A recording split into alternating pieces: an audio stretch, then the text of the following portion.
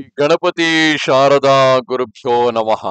ವಸುದೇವ ಸುತಂ ದೇವಂ ಕಂಸಚಾಣೂರಮರ್ದನಂ. ದೇವಕಿ ಪರಮಾನಂದಂ ಕೃಷ್ಣಂ ವಂದೇ ಜಗದ್ಗುರು. ಶ್ರೋತೃಗಳಿಗೆ ಶ್ರೀ ಅಳಸಿಂಗರಾಚಾರ್ಯ ವಿರಚಿತ, ಶ್ರೀ ವ್ಯಾಸಮಹರ್ಷಿ ಪ್ರಣೀತ, ಶ್ರೀಮದ್ ಭಾಗವತದ ತೃತೀಯ ಸ್ಕಂದದಲ್ಲಿ ಕಪಿಲನ್ನು ದೇವಹೂತಿಗೆ ಪ್ರಕೃತಿ ಪುರುಷರ ಸ್ವರೂಪವನ್ನು ತಿಳಿಸಿದುದು ಎಂಬ ಇಪ್ಪತ್ತಾರನೆಯ ಅಧ್ಯಾಯಕ್ಕೆ ಸ್ವಾಗತ. ಹಿಂದಿನ ಅಧ್ಯಾಯದಲ್ಲಿ, ಯಾವ ಕಾರಣದಿಂದಲೂ ಕುಂದದ ತೀವ್ರವಾದ ಭಕ್ತಿಯೋಗದಿಂದ ಮನಸ್ಸನ್ನು ನನ್ನಲ್ಲಿ ಸ್ಥಿರವಾಗಿ ನಿಲ್ಲಿಸಿಡುವುದೊಂದೇ ಈ ಪ್ರಕೃತಿ ಮಂಡಲದಲ್ಲಿ ಸಂಸಾರಕ್ಕೆ ಕಟ್ಟು ಬಿದ್ದಿರುವ ಜೀವನಿಗೆ ಮೋಕ್ಷೋಪಾಯವೆಂದು ತಿಳಿ ಎಂದು ಕಪಿಲನು ತನ್ನ ತಾಯಿಯಾದ ದೇವಹೂತಿಗೆ ತಿಳಿಸಿದ್ದನು. ಮುಂದುವರಿದು, ಅಮ್ಮ, ಮೋಕ್ಷಕ್ಕೆ ಬೇಕಾದ ಪ್ರಧಾನ ಮಾರ್ಗವನ್ನು ನಿನಗೆ ತಿಳಿಸಿದನಷ್ಟೇ. ವ್ಯಕ್ತಿ ಪುರುಷ ಕಾಲವೆಂಬಿ ಮೂರು ತತ್ವಗಳ ಸ್ವರೂಪವನ್ನು ನಿನಗೆ ಬೇರೆ ಬೇರೆಯಾಗಿ ವಿವರಿಸಿ ತಿಳಿಸುವೆನು ಕೇಳು. ಈ ತತ್ವಗಳ ಸ್ವರೂಪವನ್ನು ತಿಳಿದಾಗಲೇ ಮೋಕ್ಷಾಭಿಲಾಷೆಯುಳ್ಳ ಮನುಷ್ಯನಿಗೆ ಪ್ರಕೃತಿ ಗುಣಗಳಾದ ಸತ್ವ, ರಜಸ್ಸು, ತಮಸ್ಸುಗಳು ಬಿಟ್ಟು ಹೋಗುವವು ಪರಬ್ರಹ್ಮನನ್ನು ಸಾಕ್ಷಾತ್ಕರಿಸುವುದಕ್ಕೆ ಬೇಕಾದ ಯಾವ ಜ್ಞಾನವನ್ನು ಮೋಕ್ಷ ಕಾರಣವೆಂದು ವೇದಾಂತಿಗಳು ಹೇಳಿರುವರು ಯಾವ ಜ್ಞಾನದಿಂದ ಅಜ್ಞಾನವು ನೀಗುವುದು ಅಂತಹ ಜ್ಞಾನವನ್ನು ನಿನಗೆ ವಿವರಿಸುವೆನು. ಮೊದಲು ಜೀವಾತ್ಮದ ಸ್ವರೂಪವು ಎಂಥದೆಂಬುದನ್ನು ಕೇಳು. ಜೀವನು ತನಗೆ ತಾನೇ ತೋರುವ ಸ್ವರೂಪವುಳ್ಳವನು, ಎಂದರೆ ದೀಪದಂತೆ ಸ್ವಯಂ ಪ್ರಕಾಶವುಳ್ಳವನು. ಜ್ಞಾನವೇ ಅವನ ಸ್ವರೂಪವು, ಜ್ಞಾನವೇ ಅವನ ಗುಣವಾಗಿಯೂ ಇರುವುದು. ದೀಪವು ತನ್ನ ಪ್ರಭೆಯಿಂದ ಇತರ ವಸ್ತುಗಳನ್ನು ಪ್ರಕಾಶಗೊಳಿಸುತ್ತಾ ಸ್ವಧರ್ಮವಾದ ಪ್ರಭೆಯನ್ನಪೇಕ್ಷಿಸದೆ ತನಗೆ ತಾನೇ ಬೆಳಗುವಂತೆ ಜೀವನು ತನ್ನೊಳಗೆ ತಾನೇ ತಿಳಿಯತಕ್ಕ ನಿಜ ಸ್ವರೂಪವುಳ್ಳವನಾಗಿ ಇತರ ವಸ್ತುಗಳನ್ನು ತಿಳಿಯುವನು. ಪ್ರಕೃತಿಯ ವಿಕಾರ ರೂಪವಾದ ಶರೀರ, ಇಂದ್ರಿಯಗಳು, ಮನಸ್ಸು ಇವೆಲ್ಲಕ್ಕಿಂತಲೂ ವಿಲಕ್ಷಣನಾಗಿರುವನು. ಸಹಜವಾಗಿ ಅವನಿಗೆ ಪ್ರಕೃತಿ ಗುಣಗಳಾದ ಸತ್ವಾದಿಗಳ ಸಂಬಂಧವಿಲ್ಲ. ಇವನು ಶರೀರದಲ್ಲಿ ಪ್ರವೇಶಿಸಿ ಅದನ್ನು ಧರಿಸಿಕೊಂಡಿರುವನು. ಈ ಜೀವಾತ್ಮ ಸ್ವರೂಪವು ಬ್ರಹ್ಮನೇ ಮೊದಲಾಗಿ ಸಣ್ಣ ಕ್ರಿಮಿಯವರೆಗೂ ಎಲ್ಲ ಶರೀರದಲ್ಲಿಯೂ ವ್ಯಾಪಿಸಿರುವುದು. ಹುಟ್ಟು, ಸಾವು ಮುಂತಾದ ವಿಕಾರಗಳು ಆ ದೇಹಕ್ಕಲ್ಲದೆ ಜೀವನಿಗಿಲ್ಲ.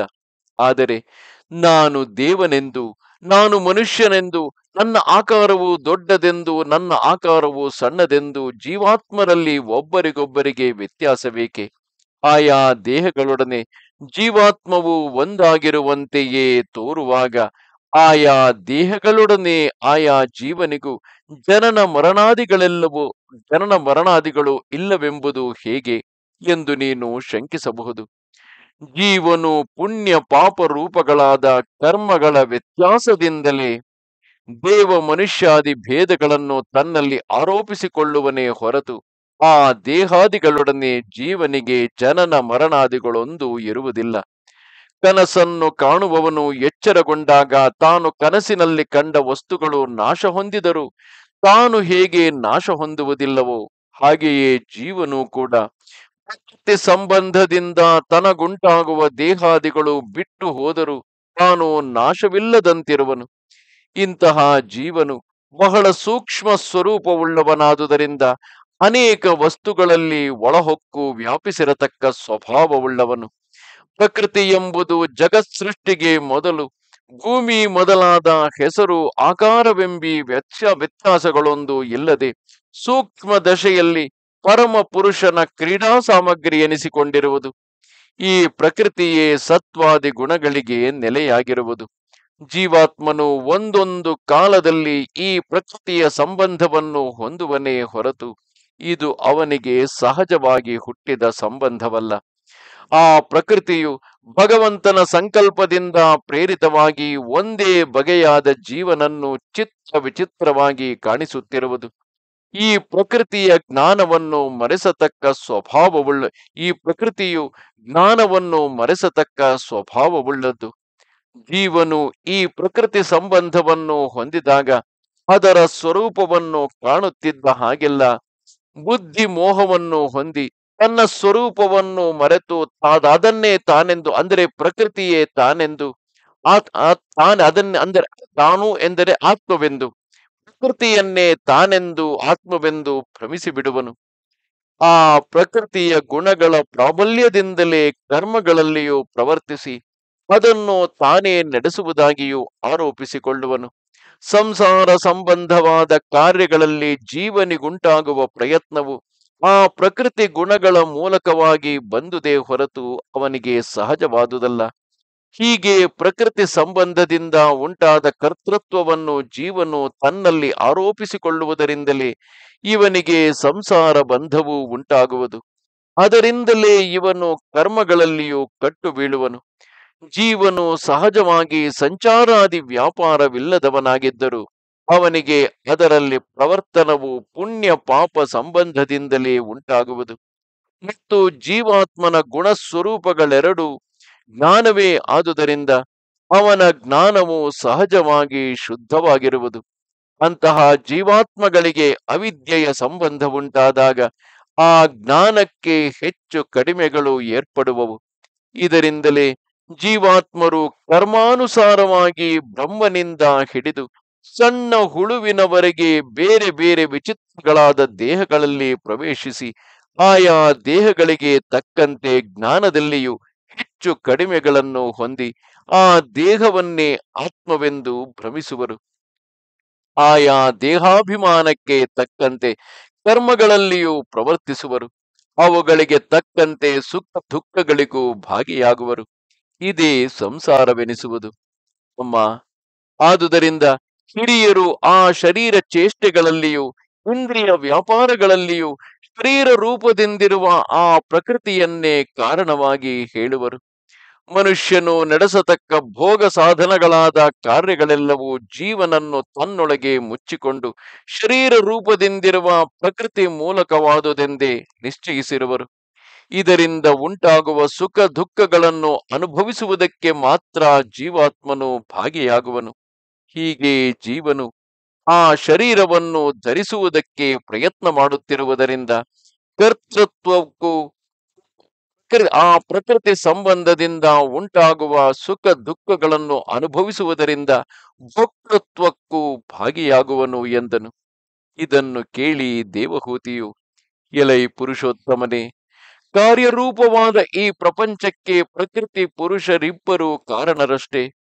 ಈ ಕಾರ್ಯದಶೆಯನ್ನು ಹೊಂದುವುದಕ್ಕೆ ಮೊದಲು ಇವೆರಡು ನಾಮರೂಪ ವಿಭಾಗಗಳೊಂದು ಇಲ್ಲದೆ ಭಗವಂತನಿಗೆ ಶರೀರವಾಗಿ ಸೂಕ್ಷ್ಮ ದಶೆಯಲ್ಲಿ ಎದ್ದುವಷ್ಟೇ ಆ ಪ್ರಕೃತಿ ಪುರುಷರಿಬ್ಬರಿಂದ ನಡೆಯುವ ಕಾರ್ಯ ಭೇದವೇನು?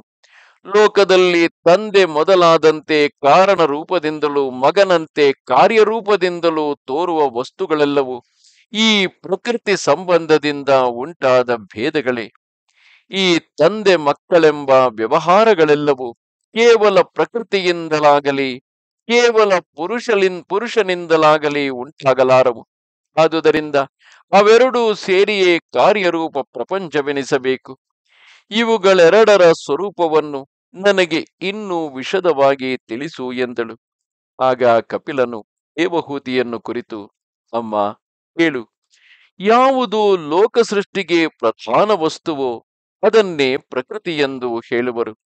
ಈ ಪ್ರಧಾನವೆಂಬುದು ಕಾರಣ ದಶೆಯಲ್ಲಿ ಭೂಮಿ ಮೊದಲಾದ ವಿಶೇಷಾಕಾರಗಳೊಂದು ಇಲ್ಲದಂತಿರುವುದು. ಆಗ ಇದಕ್ಕೆ ಆಕಾರವೊಂದು ಇಲ್ಲದುದರಿಂದಲೇ ಅವ್ಯಕ್ತವೆಂದು ಕರೆಯಲ್ಪಡುವುದು. ಇದು ನಿತ್ಯವಾದುದು. ಈ ಪ್ರಕೃತಿಗೆ ಸತ್ವವೆಂದು, ರಜಸ್ಸೆಂದು, ತಮಸ್ಸೆಂದು ಮೂರು ಗುಣಗಳುಂಟು. ಇದು ಈ ಗುಣಗಳ ಹೆಚ್ಚು ಕಡಿಮೆಯಿಂದ ಕಾರ್ಯದಶೆಯನ್ನು ಹೊಂದಿ, ಭೂಮಿ ಮೊದಲಾದ ಆಕಾರ ಭೇದಗಳನ್ನು ಹೊಂದುವುದು. ಮತ್ತು ಮಹತ್ತು ಮೊದಲಾಗಿ ಪೃಥಿವಿಯ, ಪೃಥಿವಿಯವರೆಗೆ ಕಾರಣ ರೂಪದಿಂದಲೂ, ಬ್ರಹ್ಮನಿಂದ ಸಣ್ಣ ಕ್ರಿಮಿ ಕೀಟಗಳವರೆಗೆ ಕಾರ್ಯರೂಪದಿಂದಲೂ ಕಾಣುವುದರಿಂದ ಇದಕ್ಕೆ ಕಾರ್ಯ ಕಾರಣಗಳೆಂಬ ಎರಡು ರೂಪಗಳು ಏರ್ಪಟ್ಟಿರುವವು. ಭೂಮಿ ಮೊದಲಾದ ಐದು ಭೂತಗಳು, ಇದರ ಗುಣಗಳೆನಿಸಿಕೊಂಡ ಗಂಧವೇ ಮೊದಲಾದ ಐದು ತನ್ಮಾತ್ರಗಳು, ಮನಸ್ಸು ಅಹಂಕಾರ ಮಹತ್ತು ಅವ್ಯಕ್ತವೆಂಬಿವಿ ಎಂಬುವು ನಾಲ್ಕು, ಜ್ಞಾನೇಂದ್ರಿಯ ಕರ್ಮೇಂದ್ರಿಯಗಳೆಂಬ ಹತ್ತು, ಇವಿಷ್ಟು ಸೇರಿ ಇಪ್ಪತ್ತ ನಾಲ್ಕು ತತ್ವಗಳ ಸಮುದಾಯವನ್ನು ಪ್ರಕೃತಿ ಕಾರ್ಯವೆಂದು ಹಿರಿಯರು ನಿರ್ಣಯಿಸಿರುವರು. ಭೂಮಿ, ನೀರು, ಅಗ್ನಿ, ವಾಯು, ಆಕಾಶ ಎಂಬ ಈ ಐದು ಪಂಚ ಮಹಾಭೂತಗಳು ಈ ಭೂತ ಗುಣಗಳಾದ ಗಂಧ, ರಸ, ರೂಪ, ಸ್ಪರ್ಶ, ಶಬ್ದವೆಂಬ ಈ ಐದು ಪಂಚ ತನ್ಮಾತ್ರಗಳು ಭೂತ ಸಂಖ್ಯೆಯನ್ನು ಅನೇಕರು ಅನೇಕ ವಿಧವಾಗಿ ಹೇಳುವುದುಂಟು. ಆದರೆ ಇದೇ ನನ್ನ ಮತವು. ಕಣ್ಣು, ಕಿವಿ, ಮೂಗು, ನಾಲಗೆ, ತೊಗಲು ಇವೈದು ತೊಗಲು ಎಂದರೆ ಚರ್ಮ ಇವೈದು ಜ್ಞಾನೇಂದ್ರಿಯಗಳು. ವಾಕು ಕೈ, ಕಾಲು, ಜಲದ್ವಾರ, ಮಲದ್ವಾರವೆಂಬಿ ಐದು ಕರ್ಮೇಂದ್ರಿಯಗಳು ಸೇರಿ ಇಂದ್ರಿಯಗಳು ಹತ್ತಾಗಿರುವವು. ಅಂತಃಕರಣವೆಂಬ ಒಳಗಿನ ಇಂದ್ರಿಯ ಒಂದೇ ತನಗೆ ಲಕ್ಷಣಗಳಾದ ಸಂಕಲ್ಪ, ಅಧ್ಯವಸಾಯ ಅಧ್ಯವಸಾಯ, ಅಭಿಮಾನ, ಚಿಂತೆ ಎಂಬ ಬೇರೆ ಬೇರೆ ನಾಲ್ಕು ಬಗೆಯ ವ್ಯಾಪಾರಗಳಿಂದ ಮನಸ್ಸೆಂದು, ಬುದ್ಧಿಯೆಂದು, ಅಹಂಕಾರವೆಂದು, ಚಿತ್ತವೆಂದು ನಾಲ್ಕು ಬಗೆಯಾಗಿರುವುದು. ಸತ್ವ, ರಜಸ್ಸು, ತಮಸ್ಸು ಎಂಬ ಈ ಮೂರು ಗುಣಗಳೊಡಗೂಡಿದ ಪ್ರಕೃತಿ ತತ್ವದ ಅವಸ್ಥಾ ಭೇದಗಳೆಲ್ಲವೂ ಇಷ್ಟೇ. ತತ್ವಜ್ಞರಾದ ಹಿರಿಯರು ಹೀಗೆ ಇಪ್ಪತ್ತ ನಾಲ್ಕು ತತ್ವಗಳೆಂದೇ ನಿರ್ಣಯಿಸಿರುವರು. ಕೆಲವರು ಕಾಲವೆಂಬ ಮತ್ತೊಂದು ತತ್ವವನ್ನು ಸೇರಿಸಿ ಇಪ್ಪತ್ತೈದು ತತ್ವಗಳೆನ್ನುವರು. ಕೆಲವರು ಕಾಲವೆಂಬುದು ಕಾಲವೆಂಬುದನ್ನು ಬೇರೆ ತತ್ವವಲ್ಲವೆಂದು, ಅದು ಪರಮ ಪುರುಷನ ಶಕ್ತಿ ಎಂದು, ಆ ಶಕ್ತಿಯಿಂದಲೇ ಜಗತ್ತಿಗೆ ಉತ್ಪತ್ತಿ ವಿನಾಶಾದಿ ರೂಪವಾದ ಸಂಸಾರ ಭಯವು ಏರ್ಪಟ್ಟಿರುವುದೆಂದು ಹೇಳುವರು. ಆದರೆ ಈ ವಿಷಯವಾಗಿ ನನ್ನ ಅಭಿಪ್ರಾಯವನ್ನು ತಿಳಿಸುವೆನು ಕೇಳು. ದೇಹಾಭಿಮಾನವೆಂಬ ಅಹಂಕಾರದಿಂದ ಬುದ್ಧಿ ಮೋಹಗೊಂಡಿದ್ದು ಕೊನೆಗೆ ಪ್ರಳಯ ದಶೆಯಲ್ಲಿ ತಮಸ್ಸೆಂದು ಕರೆಯಲ್ಪಡುವ ಸೂಕ್ಷ್ಮ ಪ್ರಕೃತಿಯೊಡನೆ ಸೇರಿರುವ ಜೀವನಿಗೂ ಸತ್ವಾದಿ ಗುಣಗಳಲ್ಲಿ ಹೆಚ್ಚು ಕಡಿಮೆ ಇಲ್ಲದ ಸಮಸ್ಥಿತಿಯನ್ನು ಹೊಂದಿ ನಾಮರೂಪ ವಿಶೇಷಗಳೊಂದು ಇಲ್ಲದ ಪ್ರಕೃತಿಗೂ ಈ ಪ್ರಪಂಚ ರೂಪವಾಗಿ ಮಾರ್ಪಡತಕ್ಕ ಕಾರ್ಯಕ್ಕೆ ಯಾವುದು ಪ್ರೇರಕವೋ ಅದೇ ಕಾಲವೆಂದು. ಅದು ಭಗವಂತನ ಶರೀರದಲ್ಲಿ ಇರುವುದೆಂದು ನನ್ನ ಮತವು. ಮೇಲೆ ಹೇಳಿದ ವಿಷಯಗಳಿಂದ ಪ್ರಕೃತಿ, ಪುರುಷ, ಕಾಲವೆಂಬಿವು ಮೂರು ಭಗವಂತನ ಸ್ವರೂಪಗಳಲ್ಲದೆ ಬೇರೆಯಲ್ಲವೆಂಬುದು ಸಿದ್ಧವಾಗುವುದಷ್ಟೇ. ಅವುಗಳಲ್ಲಿ ಪ್ರಕೃತಿ ಎಂಬುದು ಭೂಮಿ ಮೊದಲಾದ ಸ್ಥೂಲ ರೂಪಕ್ಕೆ ಮಾರ್ಪಡುವುದರಿಂದ ಅದರ ಸ್ವರೂಪವನ್ನು ನಾವು ಸ್ಪಷ್ಟವಾಗಿ ತಿಳಿಯಬಹುದು. ಪುರುಷನಿಗೂ ಕಾಲಕ್ಕೂ ಆ ಸ್ಥೂಲ ರೂಪ ಇಲ್ಲದುದರಿಂದ ಅವುಗಳನ್ನು ಯುಕ್ತಿಯಿಂದಲೇ ಕಂಡುಕೊಳ್ಳಬೇಕು. ಶಾಸ್ತ್ರದಿಂದಲ್ಲದೆ ಅವುಗಳ ಸ್ವರೂಪವನ್ನು ತಿಳಿಯುವುದಕ್ಕೆ ಬೇರೆ ಉಪಾಯವಿಲ್ಲ. ಈ ನಮ್ಮ ದೇಹವೆಂಬುದು ಭೂಮಿ ಮೊದಲಾದ ಐದು ಭೂತಗಳಿಂದ ಏರ್ಪಟ್ಟಿರುವುದು. ಈ ದೇಹದೊಳಗೆ ಸೇರಿಕೊಂಡು ಒಂದನ್ನು ದ್ವೇಷಿಸುವುದು ಒಂದನ್ನು ಪ್ರೀತಿಸುವುದು, ಒಂದನ್ನು ಸುಖವೆಂದು ಭಾವಿಸಿ ಸಂತೋಷ ಪಡುವುದು ಮತ್ತೊಂದನ್ನು ದುಃಖವೆಂದು ಭಾವಿಸಿ ಕೊರಗುವುದು. ಈ ರೀತಿಯಾಗಿ ಯಾವನು ಆಗಾಗ ಜ್ಞಾನ ವಿಕಾರಗಳನ್ನು ಹೊಂದುವನೋ, ಅವನೇ ಪುರುಷನೆಂದು, ಜೀವನೆಂದು, ಆತ್ಮನೆಂದು, ಜೀವಾತ್ಮನೆಂದು, ಕ್ಷೇತ್ರಜ್ಞನೆಂದು, ಪ್ರತ್ಯಗಾತ್ಮನೆಂದು ಬೇರೆ ಬೇರೆ ಹೆಸರಿನಿಂದ ಕರೆಯಲ್ಪಡುವನು. ಸುಖ, ದುಃಖ, ಪ್ರೀತಿ, ದ್ವೇಷ ಮೊದಲಾದುವೆಲ್ಲವೂ ಜ್ಞಾನ ವಿಕಾರಗಳಾದುದರಿಂದ ಇವು ಅಚೇತನವಾದ ಪ್ರಕೃತಿಯ ಧರ್ಮಗಳಲ್ಲ. ಇದರಿಂದ ಶರೀರದೊಳಗೆ ಜೀವನೆಂಬ ಬೇರೆ ವಸ್ತುವು ಅಡಗಿರಬೇಕೆಂದು ಗೊತ್ತಾಗುವುದಷ್ಟೇ. ಮತ್ತು ಆ ದೇಹಾದಿಗಳ ವಿಷಯವಾಗಿ ಹಿಂದೆ ಇದ್ದುದೆಂದು, ಈಗ ಇರತಕ್ಕುದೆಂದು, ಮುಂದೆ ಹುಟ್ಟತಕ್ಕುದೆಂದು ಹೇಳುವ ವ್ಯವಹಾರವೆಲ್ಲವೂ ಕಾಲಕ್ಕೆ ಸಂಬಂಧಪಟ್ಟದು. ಈ ವ್ಯವಹಾರಗಳಿಂದಲೇ ಕಾಲವೆಂಬುದೊಂದು ವಸ್ತುವನ್ನು ನಾವು ಗ್ರಹಿಸಬೇಕಲ್ಲವೇ? ಹೀಗೆ ಪಂಚಭೂತಗಳ ಸಮುದಾಯದಿಂದ ಏರ್ಪಟ್ಟ ಶರೀರದಲ್ಲಿ ಸುಖ ದುಃಖಾದಿಗಳನ್ನು ಅನುಭವಿಸತಕ್ಕ ಜೀವಾತ್ಮ ಸ್ವರೂಪದಿಂದ ಒಳಭಾಗದಲ್ಲಿಯೂ, ಕಾಲ ಸ್ವರೂಪದಿಂದ ಆ ಶರೀರದ ಹೊರಗೂ ಯಾವನು ತೋರುತ್ತಿರುವನು, ಅವನೇ ಪರಮ ಪುರುಷನು ಆದರೆ ಜೀವಾತ್ಮ ಕಾಲಗಳೆರಡು ಪರಮಾತ್ಮನಿಗಿಂತಲೂ ಬೇರ್ಪಟ್ಟವುಗಳಾಗಿದ್ದರು. ಪರಮ ಪುರುಷನು ತನ್ನ ಸಂಕಲ್ಪದಿಂದ ಶರೀರದೊಳಗಿನ ಜೀವಾತ್ಮಗಳಿಗೂ ಹೊರಗಿನ ಕಾಲಕ್ಕೂ ನಿಯಾಮಕನಾಗಿರುವುದರಿಂದ ಪ್ರಕೃತಿ, ಪುರುಷ, ಕಾಲವೆಂಬಿವು ಮೂರು ಪರಮ ಪುರುಷನ ಶರೀರವೆಂದೇ ಗ್ರಾಹ್ಯವು. ಇನ್ನು ಸೃಷ್ಟಿಕ್ರಮವನ್ನು ಕೇಳು. ಪ್ರಕೃತಿ ಎಂಬುದು ತನ್ನೊಳಗೆ ಸತ್ವಾದಿ ಗುಣಗಳು ಸಮವಾಗಿದ್ದಾಗ ತಾನು ಶಾಂತವಾಗಿರುವುದು. ಆಗ ಪರಮ ಪುರುಷನು ತನಗೆ ಶರೀರಭೂತವಾಗಿದ್ದ ಪ್ರಕೃತಿಯಲ್ಲಿ ಮಹತ್ತು ಮೊದಲಾದ ಪ್ರಪಂಚವನ್ನು ಸೃಷ್ಟಿಸಬೇಕೆಂದು ಉದ್ದೇಶಿಸಿ, ತನ್ನ ಸಂಕಲ್ಪದಿಂದ ಅದಕ್ಕಿದ್ದ ಗುಣಸಾಮ್ಯವನ್ನು ಕದಲಿಸಿ ಸೃಷ್ಟಿ ಕಾರ್ಯಕ್ಕಾಗಿ ಪ್ರೇರಿಸುವನು. ನಿರ್ವಿಕಾರನಾಗಿಯೂ ಜಗತ್ಕಾರಣನಾಗಿಯೂ ಇರುವ ಭಗವಂತನು ಹೀಗೆ ತನಗೆ ಶರೀರವಾದ ಪ್ರಕೃತಿಯಲ್ಲಿ ಮರೆಸಿ ಹೋಗಿದ್ದ ಜಗತ್ತನ್ನು ಹೊರಗೆ ಕಾಣಿಸಬೇಕೆಂದೆಣಿಸಿ ಜೀವಾತ್ಮಗಳಿಗೆ ಜ್ಞಾನವನ್ನು ತಗ್ಗಿಸತಕ್ಕುದಾದ ತಮೋ ಗುಣವನ್ನು ತನ್ನ ಸಂಕಲ್ಪದಿಂದ ಅಡಗಿಸಿಡುವನು ಈ ತಮೋ ಗುಣದ ಶಕ್ತಿಯು ತಗ್ಗಿದ ಮೇಲೆ ಆ ಮೂಲ ಪ್ರಕೃತಿಯಲ್ಲಿ ಪ್ರಕಾಶ ಸ್ವಭಾವವುಳ್ಳ ಸತ್ವಗುಣವು ತಲೆ ಎತ್ತುವುದರಿಂದ ಅದು ನಿರ್ಮಲವಾಗಿ, ಕಾಂತಿ ವಿಶಿಷ್ಟವಾಗಿ ತೋರುವುದು. ಭಗವಂತನನ್ನು ಸಾಕ್ಷಾತ್ಕರಿಸುವುದಕ್ಕೆ ಕಾರಣವಾದ ಅಂತಹ ಸತ್ವಗುಣದೊಡನೆ ಬೆಳಗುತ್ತಿದ್ದ ಮೂಲ ಪ್ರಕೃತಿಯು ಅದೇ ಪ್ರಕಾರದಿಂದ ಮಹತ್ವ ಮಹತ್ವ ರೂಪವಾಗಿ ಮಾರ್ಪಡುವುದು. ಈ ಮೂಲ ಪ್ರಕೃತಿ ಮಹತ್ವಗಳೆರಡಕ್ಕೂ ಮಹ, ಅಂದರೆ ಅದೇ ಪ್ರಕಾರದಿಂದ ಮಹತ್ತತ್ವ ರೂಪವಾಗಿ ಮಾರ್ಪಡುವುದು. ಈ ಮೂಲ ಪ್ರಕೃತಿ ಮಹತ್ತತ್ವಗಳೆರಡಕ್ಕೂ ವಾಸುದೇವನೇ ಅಧಿಷ್ಠಾನ ದೇವತೆಯಾದುದರಿಂದ ಆ ಮಹತ್ವಕ್ಕೂ ವಾಸುದೇವ ವ್ಯೂಹವೆಂದು ಕರೆಯಲ್ಪಟ್ಟಿತು. ಈ ಸತ್ವಗುಣವು ತಲೆ ಎತ್ತಿದಾಗ ಆ ಅವ್ಯಕ್ತವು ಅಂತಃಕರಣದ ಒಂದು ಭೇದವೆನಿಸಿಕೊಂಡ ಚಿತ್ತವೆಂಬುದಕ್ಕೆ ಸಹಾಯಕವಾಗುವುದು. ಅಮ್ಮ ಇದರ ಸಹಾಯದಿಂದ ಅಂತಃಕರಣಕ್ಕೆ ಒದಗಿ ಬರುವ ವ್ಯತ್ಯಾಸವೆಂತದೆಂಬುದನ್ನು ತಿಳಿಸುವೆನು ಕೇಳು. ಸಹಜವಾಗಿಯೇ ಸ್ವಚ್ಛವಾಗಿರುವ ಜಲವು ಪಾಚಿ, ಕೊಳೆ, ನೊರೆ ಮುಂತಾದವುಗಳೊಂದು ಇಲ್ಲದೆ ನಿರ್ಮಲವಾಗಿದ್ದಾಗ ಪ್ರತಿಬಿಂಬವನ್ನು ಗ್ರಹಿಸುವುದಕ್ಕೆ ಹೇಗೆ ಸಮರ್ಥವಾಗುವುದು? ಹಾಗೆಯೇ ಮನಸ್ಸು ಯಾವ ವಿಕಾರಗಳು ಇಲ್ಲದೆ ಶಾಂತವಾಗಿ ಭಗವಂತನ ರೂಪವನ್ನು ಗ್ರಹಿಸುವುದಕ್ಕೆ ತಕ್ಕಷ್ಟು ಸ್ವಚ್ಛತೆಯನ್ನು ಹೊಂದಿದಾಗ ಆ ಮನಸ್ಸಿಗೆ ಅವ್ಯಕ್ತದ ಸಹಾಯ ಉಂಟಾಯಿತೆಂದು ತಿಳಿಯಬೇಕು. ಅಂತಃಕರಣಕ್ಕೆ ಸಂಭವಿಸುವ ಈ ಸ್ಥಿತಿಯೇ ಚಿತ್ತವೆಂದು ಕರೆಯಲ್ಪಡುವುದು.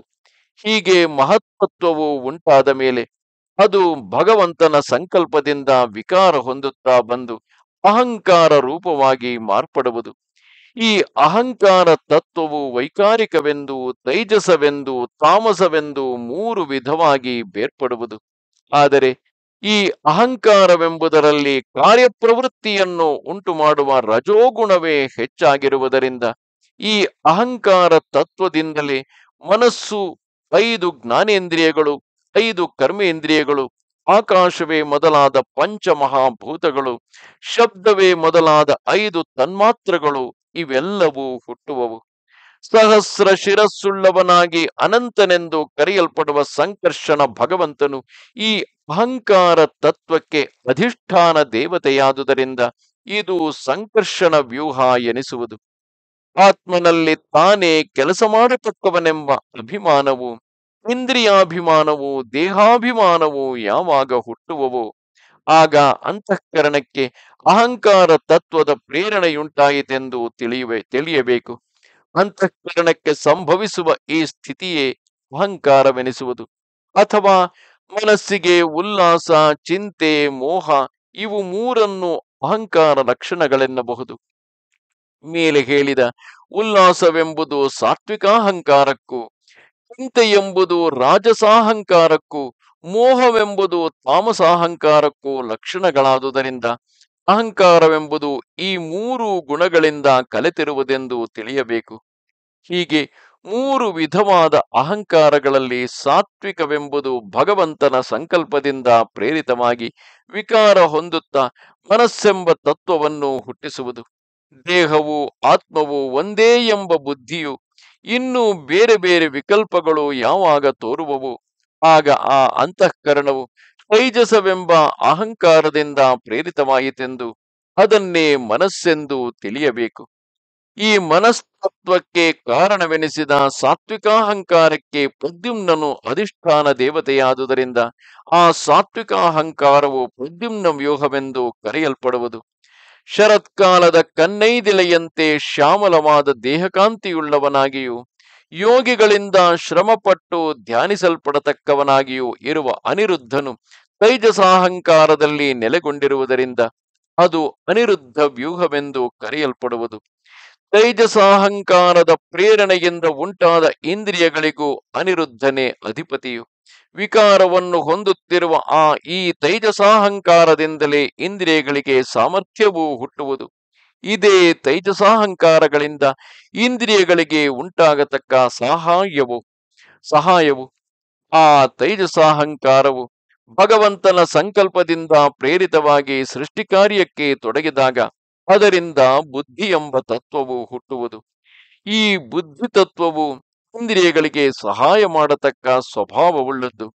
ಸಾಮಾನ್ಯವಾದ ವಸ್ತು ಜ್ಞಾನವು ಸಂಶಯವು, ಅನ್ಯಥಾ ಜ್ಞಾನ, ವಿಪರೀತ ಜ್ಞಾನಗಳು, ನಿಶ್ಚಯವು, ಸ್ಮರಣವು, ನಿದ್ರೆಯು ಇವೆಲ್ಲವೂ ಪ್ರತ್ಯೇಕ ಪ್ರತ್ಯೇಕವಾಗಿ ಬುದ್ಧಿ ವ್ಯಾಪಾರಗಳೆನಿಸುವವು. ಬುದ್ಧಿಯ ಸಹಾಯದಿಂದಲೇ ಇಂದ್ರಿಯಗಳು ಮೇಲೆ ಹೇಳಿದ ಬಗೆ ಬಗೆಯ ಜ್ಞಾನಗಳನ್ನು ಪಡೆಯುವವು. ಬುದ್ಧಿ ತತ್ವದ ಸಹಾಯವು ಇಂದ್ರಿಯಗಳಿಗೆ ಉಂಟಾದುದಕ್ಕೆ ಇವೇ ಗುರುತುಗಳು. ಕರ್ಮೇಂದ್ರಿಯ, ಜ್ಞಾನೇಂದ್ರಿಯಗಳೆರಡು ತೈಜಸಾಹಂಕಾರದಿಂದ ಸಹಕರಿಸಲ್ಪಟ್ಟ ವೈಕಾರಿಕ ಅಹಂಕಾರದಿಂದಲೇ ಹುಟ್ಟಿದವುಗಳು. ಇವು ಕೇವಲ ವೈಕಾರಿಕದಿಂದಲೇ ಹುಟ್ಟಿದವುಗಳಾಗಿದ್ದ ಪಕ್ಷದಲ್ಲಿ ಕರ್ಮೇಂದ್ರಿಯಗಳಿಗೆ ಬೇಕಾದ ಕ್ರಿಯಾಶಕ್ತಿಯು ಜ್ಞಾನೇಂದ್ರಿಯಗಳಿಗೆ ಬೇಕಾದ ಜ್ಞಾನಶಕ್ತಿಯು ಇರಲಾರವು. ಆದುದರಿಂದ ಈ ಎರಡು ಬಗೆಯ ಇಂದ್ರಿಯಗಳು ತೇಜಸಾಹಂಕಾರದಿಂದ ಸಹಕರಿಸಲ್ಪಟ್ಟ ವೈಕಾರಿಕ ಸಾತ್ವಿಕದಿಂದಲೇ ಉಂಟಾಗುವವು. ಆದರೆ ಆ ಎರಡು ಇಂದ್ರಿಯಗಳಿಗೂ ಎರಡು ಬಗೆಯ ಶಕ್ತಿಯು ಇರಬೇಕಲ್ಲವೇ? ಎಂದರೆ ಜ್ಞಾನೇಂದ್ರಿಯ ಉಂಟಾಗುವಾಗ ವೈಕಾರಿಕದಲ್ಲಿ ಸತ್ವಗುಣವು ತಲೆ ಎತ್ತಿ ರಜೋಗುಣವು ಮರೆಸಿಕೊಳ್ಳುವುದು. ಕರ್ಮೇಂದ್ರಿಯಗಳು ಹುಟ್ಟುವಾಗ ರಜೋಗುಣವು ತಲೆ ಎತ್ತಿ ಸತ್ವಗುಣವು ಮರೆಸಿಕೊಳ್ಳುವುದು. ಆದುದರಿಂದಲೇ ಕರ್ಮೇಂದ್ರಿಯಗಳಲ್ಲಿ ರಜೋಗುಣದ ಪ್ರಾಬಲ್ಯದಿಂದ ಕರ್ಮಶಕ್ತಿಯು, ಜ್ಞಾನೇಂದ್ರಿಯಗಳಲ್ಲಿ ಸತ್ವಗುಣದ ಬಲದಿಂದ ಕ್ರಿಯಾಶಕ್ತಿಯು ನಿಯತವಾಗಿರುವುದು. ಇದಾದ ಮೇಲೆ ತಾಮಸಾಹಂಕಾರವು ಭಗವಂತನ ಸಂಕಲ್ಪದಿಂದ ಪ್ರೇರಿತವಾದಾಗ ಅದರಿಂದ ಶಬ್ದ ತನ್ಮಾತ್ರವು ಹುಟ್ಟಿ ಅದರಿಂದ ಆಕಾಶವೆಂಬ ಮಹಾಭೂತವು ಜನಿಸಿತು. ಆ ಶಬ್ದವನ್ನು ತಿಳಿಸತಕ್ಕುದು ಶ್ರೋತ್ರೇಂದ್ರಿಯವು.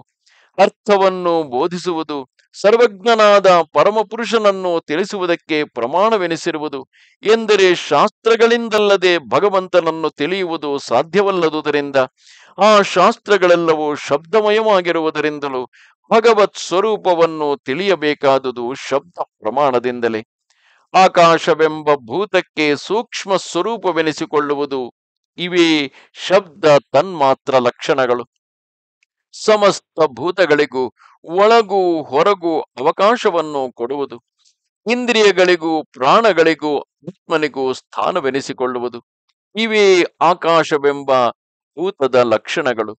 ಹೀಗೆ ಹೀಗೆ ಶಬ್ದ ಗುಣಗಳುಳ್ಳ ಶಬ್ದ ಗುಣವುಳ್ಳ ಆಕಾಶವೆಂಬ ಭೂತವು ಕಾಲ ಶರೀರಕನಾದ ಭಗವಂತನ ಸಂಕಲ್ಪದಿಂದ ಪ್ರೇರಿತವಾದಾಗ, ಅದರಿಂದ ಸ್ಪರ್ಶವೆಂಬ ತನ್ಮಾತ್ರವು ಹುಟ್ಟಿತು. ಇದರಿಂದ ವಾಯುವೆಂಬ ಭೂತವು ಏರ್ಪಟ್ಟಿತು. ಈ ಸ್ಪರ್ಶ ಗುಣವನ್ನು ತಿಳಿಸತಕ್ಕುದು ತ್ವಗೇಂದ್ರಿಯವು, ಅಂದರೆ ಚರ್ಮವು. ಮೃದುತ್ವ, ಕಠಿಣತ್ವ, ಶೀತೋಷ್ಣತ್ವಗಳು ಶೀತೋಷ್ಣತ್ವಗಳು ವಾಯುವಿಗೆ ಅಸಾಧಾರಣ ಗುಣವೆನಿಸುವುದು. ಸ್ಪರ್ಶ ತನ್ಮಾತ್ರ ಲಕ್ಷಣಗಳು ಇತರ ವಸ್ತುಗಳನ್ನು ಆಡಿಸುವುದು, ಚದುರಿಸುವುದು, ಒಂದುಗೂಡಿಸುವುದು. ಗಂಧ ಗುಣವುಳ್ಳ ವಸ್ತುವನ್ನು ಘ್ರಾಣೇಂದ್ರಿಯಕ್ಕೂ, ಶಬ್ದವನ್ನು ಶ್ರೋತ್ರೇಂದ್ರಿಯಕ್ಕೂ ತಂದು ಸೇರಿಸುವುದು, ಸರ್ವೇಂದ್ರಿಯಗಳಿಗೂ ಧಾರಕವಾಗಿರುವುದು. ಇವೆಲ್ಲವೂ ವಾಯುವಿನ ಲಕ್ಷಣವನ್ನು ತೋರಿಸತಕ್ಕ ಕಾರ್ಯಗಳು. ಸ್ಪರ್ಶ ಗುಣವುಳ್ಳ ಈ ವಾಯುವು ಸೃಷ್ಟಿ ಕಾರ್ಯಕ್ಕಾಗಿ ದೈವ ಸಂಕಲ್ಪದಿಂದ ಪ್ರೇರಿಸಲ್ಪಟ್ಟು, ಅದರಿಂದ ರೂಪವೆಂಬ ತನ್ಮಾತ್ರವು ಹುಟ್ಟಿ, ಅದರಿಂದ ತೇಜಸ್ಸೆಂಬ ಭೂತವು ಏರ್ಪಟ್ಟಿತು. ಆ ರೂಪವನ್ನು ತಿಳಿಸತಕ್ಕುದು ಚಕ್ಷುರಿಂದ್ರಿಯವು. ರೂಪಗುಣವುಳ್ಳ ತೇಜಸ್ಸು ಮೊದಲಾದ ಭೂತಗಳನ್ನು ಇತರ ಭೂತಗಳಿಂದ ಬೇರೆಯಾಗಿ ತಿಳಿಸುವುದು, ದ್ರವ್ಯವನ್ನು ಆಶ್ರಯಿಸಿರುವುದು, ಒಂದು ವ್ಯಕ್ತಿಯಿಂದ ಮತ್ತೊಂದು ವ್ಯಕ್ತಿಯನ್ನು ಬೇರೆಯಾಗಿ ಕಾಣಿಸುವುದು, ತೇಜಸ್ಸಿಗೆ ಅಸಾಧಾರಣ ಗುಣವೆನಿಸುವುದು.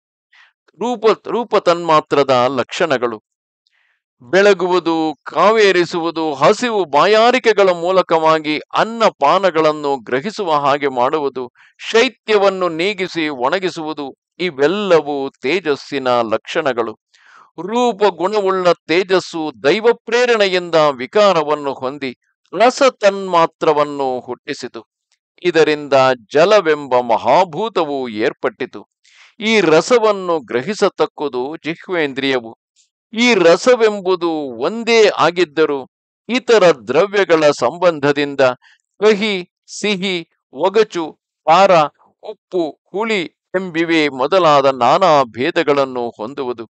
ಇತರ ದ್ರವ್ಯಗಳನ್ನು ನೆನೆಸುವುದು, ಅಂಟಿಸುವುದು ತೃಪ್ತಿಯನ್ನುಂಟು ಮಾಡುವುದು ಬದುಕಿಸುವುದು, ಹಸಿವು, ಬಾಯಾರಿಕೆಗಳ ಶ್ರಮವನ್ನು ನೀಗಿಸುವುದು ಇತರ ದ್ರವ್ಯಗಳನ್ನು ಮೃದುವಾಗಿ ಮಾಡುವುದು ಬಾವಿ ಮೊದಲಾದ ಜಲಾಶ್ರಯಗಳಲ್ಲಿ ಮೇಲೆ ಮೇಲೆ ಎತ್ತಿದ ಹಾಗೆಲ್ಲ ತಿರುಗಿ ತುಂಬಿಕೊಳ್ಳುವುದು ಇವೆಲ್ಲವೂ ಜಲದ ಕಾರ್ಯಗಳು. ಈ ರಸಗುಣವುಳ್ಳ ಜಲವು ದೈವ ಪ್ರೇರಣೆಯಿಂದ ವಿಕಾರ ಹೊಂದುತ್ತಾ ಬಂದು ಗಂಧವೆಂಬ ತನ್ಮಾತ್ರವು ಹುಟ್ಟಿ ಅದರಿಂದ ಭೂಮಿಯು ಏರ್ಪಟ್ಟಿತು. ಗಂಧ ಗುಣವನ್ನು ತಿಳಿಸತಕ್ಕುದು ಘ್ರಾಣೇಂದ್ರಿಯವು ಈ ಗಂಧವೆಂಬುದು ರಸದಂತೆ ಒಂದೇ ಆಗಿದ್ದರು. ಪರಗಾಶ್ರಯವಾದ ದ್ರವ್ಯಗಳ ಭೇದವನ್ನು ಅನುಸರಿಸಿ ಮಿಶ್ರ ಗಂಧವೆಂದು, ದುರ್ಗಂಧವೆಂದು, ಸುಗಂಧವೆಂದು, ಕಮಲಾದಿಗಳಲ್ಲಿರುವಂತೆ ಮೃದು ಗಂಧವೆಂದು, ಈರುಳ್ಳಿ ಮುಂತಾದವುಗಳಲ್ಲಿರುವಂತೆ ಕ್ರೂರ ಗಂಧ, ಅಂದರೆ ಘಾಟು ಎಂದು ಹುಳಿ ವಾಸನೆ ಎಂದು ನಾನಾ ಭೇದವನ್ನು ಹೊಂದುವುದು. ಘುಟಪಟಾದಿ ದ್ರವ್ಯಗಳನ್ನು ಹುಟ್ಟಿಸುವುದು.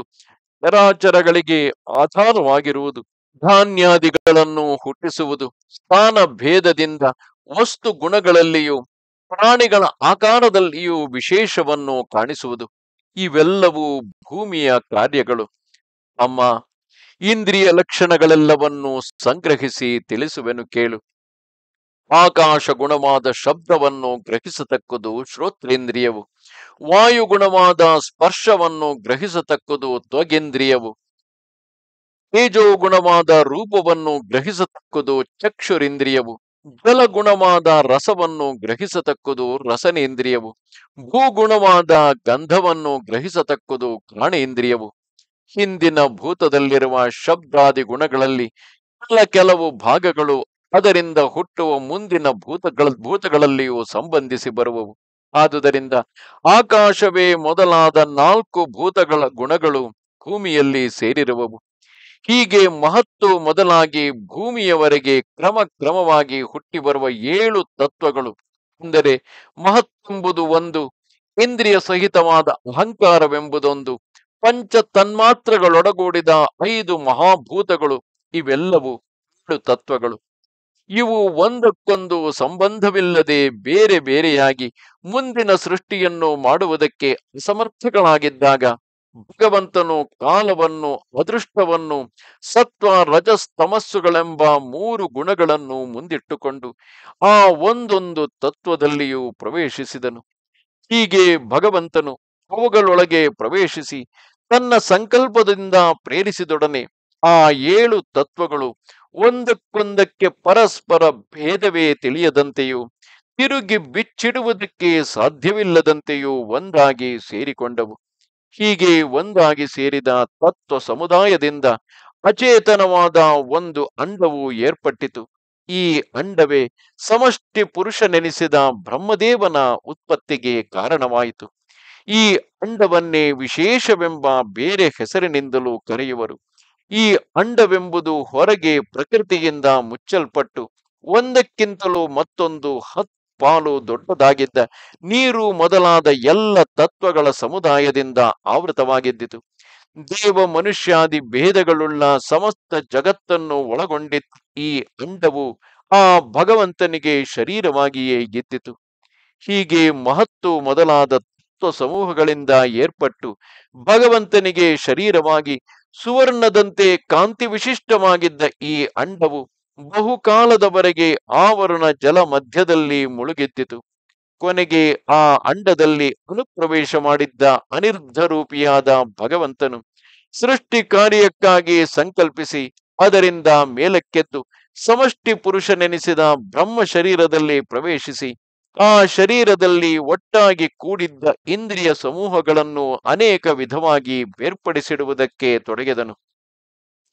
ಮೊದಲು ಆ ಬ್ರಹ್ಮ ಶರೀರದಿಂದ ಮುಖವೆಂಬ ಅವಯವವು ಹೊರಪಟ್ಟಿತು. ಎಂದರೆ ಸಮಷ್ಟಿ ಪುರುಷನೆನಿಸಿದ ಈ ಬ್ರಹ್ಮ ಶರೀರದ ಮುಖವೆಂಬ ಭಾಗದಿಂದ ದೇವಾದಿ ಭೂತಗಳ ವಾಗೇಂದ್ರಿಯ ಸ್ಥಾನವಾದ ಮುಖವೆಂಬ ಅವಯವಗಳು ಏರ್ಪಟ್ಟವು.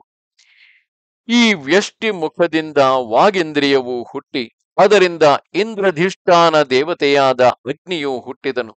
ಆಮೇಲೆ ಆ ಸಮಷ್ಟಿ ಪುರುಷನ ಮೂಗಿನ ಸ್ಥಾನದಿಂದ ವ್ಯಷ್ಟಿ ದೇವತೆಗಳ ಮೂಗಿನ ಸ್ಥಾನವು ಬೇರ್ಪಟ್ಟು, ಅದರಿಂದ ಘ್ರಾಣೇಂದ್ರಿಯವು ಹುಟ್ಟಿತು. ಆ ಇಂದ್ರಿಯದಿಂದ ಅದಕ್ಕಧಿದೇವತೆಯಾದ ವಾಯುವು ಜನಿಸಿದನು. ಹಾಗೆಯೇ ಸಮಷ್ಟಿ ಪುರುಷನ ನೇತ್ರಗೋಳದಿಂದ ವ್ಯಷ್ಟಿ ನೇತ್ರಗೋಳವು ಅದರಿಂದ ಅದಕ್ಕಧಿಷ್ಠಾನ ದೇವತೆಯಾದ ಸೂರ್ಯನು ಆಮೇಲೆ ಸಮಷ್ಟಿ ಪುರುಷನ ಕರ್ಣದಿಂದ ವ್ಯಷ್ಟಿ ಕರ್ಣಗಳು, ಇದರಲ್ಲಿ ಕರ್ಣೇಂದ್ರಿಯವು, ಅದರಿಂದ ಅದಕ್ಕಧಿದೇವತೆಗಳಾದ ದಿಕ್ಕುಗಳು, ಆ ವಿರಾಟ್ ಪುರುಷನ ಚರ್ಮ ಸ್ಥಾನದಿಂದ ವ್ಯಷ್ಟಿ ಚರ್ಮಗಳು, ಅದರಲ್ಲಿ ತ್ವಗಿಂದ್ರಿಯವು, ಅದರಿಂದ ಆ ಇಂದ್ರಿಯಾಧಿ ಇಂದ್ರಿಯಾಧಿ ದೇವತೆಗಳಾದ ಔಷಧಿಗಳು ಹುಟ್ಟಿದವು. ಆಮೇಲೆ ಸಮಷ್ಟಿ ಪುರುಷನ ಪುರುಷಲಿಂಗ ಸ್ಥಾನದಿಂದ ಪುರುಷಲಿಂಗವು, ಅದರಲ್ಲಿ ಉಪಸ್ಥೇಂದ್ರಿಯವು, ಅದರಿಂದ ಆ ಇಂದ್ರಿಯಾದಿ ದೇವತೆಯಾದ ಜಲವು ಏರ್ಪಟ್ಟಿತು. ಆಮೇಲೆ ಸಮಷ್ಟಿ ಪುರುಷನ ಗುದಸ್ಥಾನದಿಂದ ವ್ಯಷ್ಟಿ ಪುರುಷರ ಗುದಸ್ಥಾನವು, ಅದರಿಂದ ಪಾಯುವೆಂಬ ಇಂದ್ರಿಯವು ಏರ್ಪಟ್ಟಿತು. ಆ ಇಂದ್ರಿಯದಿಂದ ಅದಕ್ಕೆ ಅಧಿದೇವತೆಯಾದ ಮೃತ್ಯುವು ಉತ್ಪನ್ನನಾದನು. ಆಮೇಲೆ ಸಮಷ್ಟಿ ಪುರುಷನ ಹಸ್ತಸ್ಥಾನದಿಂದ ವ್ಯಷ್ಟಿ ಹಸ್ತಗಳು. ಅದರಲ್ಲಿ ಬಲವೆಂಬ ಹೆಸರುಳ್ಳ ಹಸ್ತೇಂದ್ರಿಯವು ಏರ್ಪಟ್ಟು, ಅದರಿಂದ ಇಂದ್ರನು ಹುಟ್ಟಿ, ಅದಕ್ಕೆ ಅಧಿಷ್ಠಾನ ದೇವತೆಯಾದನು. ಆಮೇಲೆ ಪಾದಸ್ಥಾನದಲ್ಲಿ ಪಾದಗಳು ಹುಟ್ಟಿ, ಅದರಲ್ಲಿ ಗತಿ ಎಂಬ ಪಾದೇಂದ್ರಿಯವು ಜನಿಸಿತು. ಆ ಇಂದ್ರಿಯದಿಂದ ಉಪೇಂದ್ರನು ಹುಟ್ಟಿ, ಅದಕ್ಕೆ ಅಧಿಷ್ಠಾನ ದೇವತೆಯಾದನು. ಆಮೇಲೆ ಬ್ರಹ್ಮನ ನಾಡಿ ಸ್ಥಾನಗಳಿಂದ ವ್ಯಷ್ಟಿ ನಾಡಿಗಳು ಹುಟ್ಟಿ, ಅದರಲ್ಲಿ ರಕ್ತವು, ಆ ರಕ್ತದಿಂದ ಅದಕ್ಕಧಿಷ್ಠಾನ ದೇವತೆಗಳಾದ ನದಿಗಳು ಉತ್ಪನ್ನವಾದವು.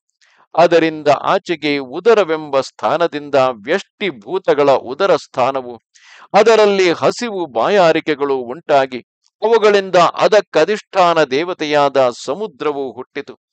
ಆಮೇಲೆ ವಿರಾಟ್ ಪುರುಷನ ಹೃದಯ ಸ್ಥಾನದಲ್ಲಿ ನೈದಿಲೆಯ ಆಕಾರಕ್ಕೆ ಹೃದಯ ಸ್ಥಾನವು ಏರ್ಪಟ್ಟಿತು. ಅದರಲ್ಲಿ ಮನಸ್ಸೆಂಬ ಇಂದ್ರಿಯವು ಹುಟ್ಟಿ, ಅದಕ್ಕೆ ಚಂದ್ರನು ಅಧಿಷ್ಠಾನ ದೇವತೆಯಾಗಿ ಜನಿಸಿದನು. ಆ ಹೃದಯ ಸ್ಥಾನದಿಂದಲೇ ಬುದ್ಧಿರೂಪವಾದ ಇಂದ್ರಿಯವು ಏರ್ಪಟ್ಟು, ಅದಕ್ಕೆ ಬ್ರಹ್ಮನು ಅಧಿಪತಿಯಾದನು. ಅದರಿಂದಾಚೆಗೆ ಅದೇ ಹೃದಯ ಸ್ಥಾನದಿಂದ ಅಹಂಕಾರವು ಹುಟ್ಟಿ, ಅದಕ್ಕೆ ರುದ್ರನು ಅಧಿದೇವತೆಯಾದನು. ಅದೇ ಹೃದಯದಿಂದ ಚಿತ್ತವೆಂಬ ಇಂದ್ರಿಯವು ಏರ್ಪಟ್ಟು ಅದರಲ್ಲಿ ಚೈತ್ಯನೆಂಬ ಕ್ಷೇತ್ರಜ್ಞನು ಹುಟ್ಟಿ ಅದಕ್ಕೆ ಅಧಿದೇವತೆಯಾಗಿ ನಿಂತನು.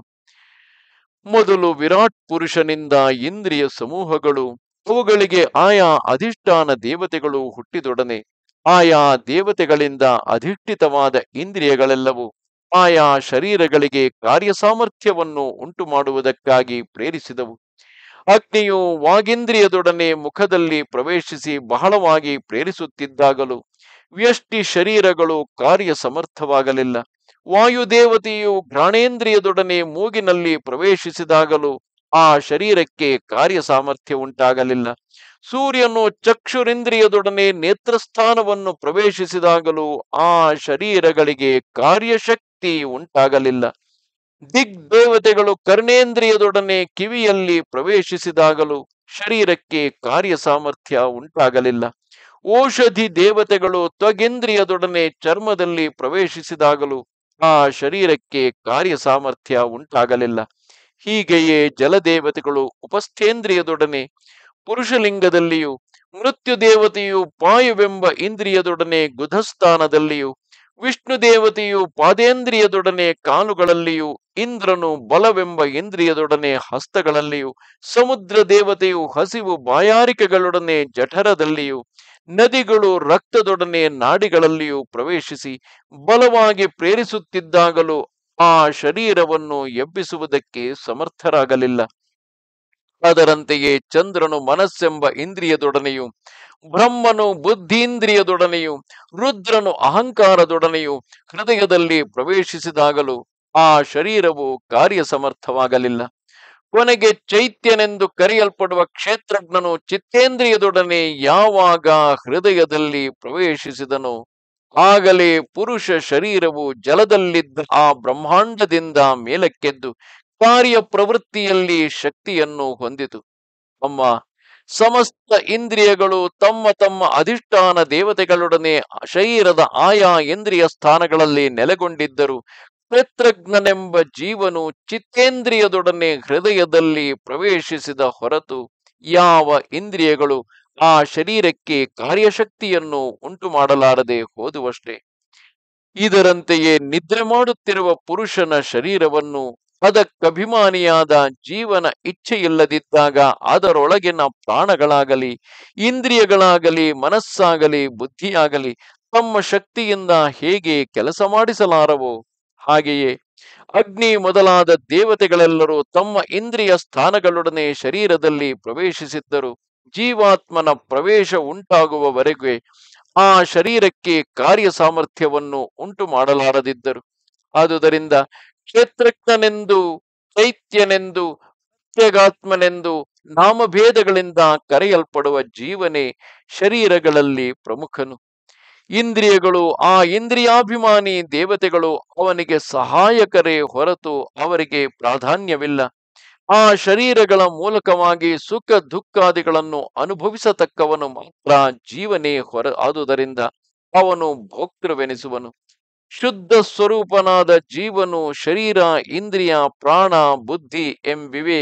ಮೊದಲಾದ ವಸ್ತುಗಳೆಲ್ಲಕ್ಕಿಂತಲೂ ಬೇರ್ಪಟ್ಟವನೆಂಬುದನ್ನು ಈ ವಿಚಾರಗಳಿಂದ ತಿಳಿದು, ಭಕ್ತಿ ವೈರಾಗ್ಯಗಳಿಂದಲೂ ಅವನೇ ಬ್ರಹ್ಮಸ್ವರೂಪನೆಂಬ ತತ್ವಜ್ಞಾನದಿಂದಲೂ ಮನಸ್ಸಿನಲ್ಲಿ ದೃಢಗೊಳಿಸಬೇಕು. ಯೋಗ ಪರಿಪಕ್ವವಾದ ಬುದ್ಧಿಯಿಂದ ಈ ನಿಶ್ಚಯವನ್ನು ತಿಳಿದ ಮೇಲೆ ಆ ಜೀವನಿಗೂ ಅಂತರಾತ್ಮನಾಗಿರುವ ಪರಮಾತ್ಮನನ್ನು ಕೂಡ ಅದೇ ಕರ್ಮ, ಜ್ಞಾನ, ಭಕ್ತಿಗಳೆಂಬ ಮೂರು ಬಗೆಯ ಯೋಗಗಳಿಂದಲೂ ಉಪಾಸನೆ ಮಾಡುತ್ತಿರಬೇಕು. ಇಲ್ಲಿಗೆ ಇಪ್ಪತ್ ಆರನೆಯ ಅಧ್ಯಾಯವು. ನಮಸ್ತೆ ಶಾರದೆ ದೇವಿ ಕಾಶ್ಮೀರ ಪುರವಾಸಿನಿ ತ್ವಾಮಹಂ ಪ್ರಾರ್ಥೆಯೇ ನಿತ್ಯಂ, ವಿದ್ಯಾದಾನಂಚ ದೇಹಿಮೆ. ನಮಸ್ಕಾರ.